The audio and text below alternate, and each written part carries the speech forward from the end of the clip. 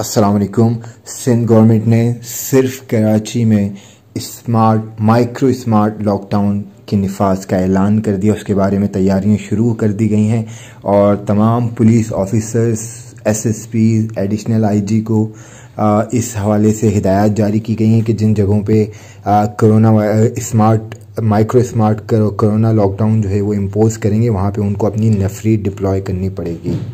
ये नोटिफिकेशन इस हवाले से जारी कर दिया गया है। चैनल को लाइक करें सब्सक्राइब करें शेयर करें। अल्लाह हाफिज़।